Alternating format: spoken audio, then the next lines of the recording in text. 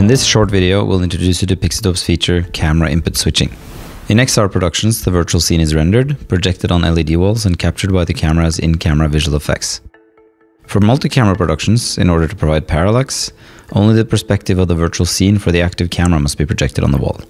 This is typically solved by costly and complex workflows using external switchers and additional delays to orchestrate the camera switching. With Pixotope's camera input switching feature, this workflow is significantly simplified.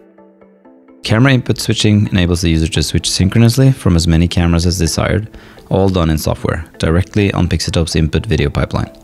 This is done synchronously and without additional delay, preventing the cut from being visible in the camera.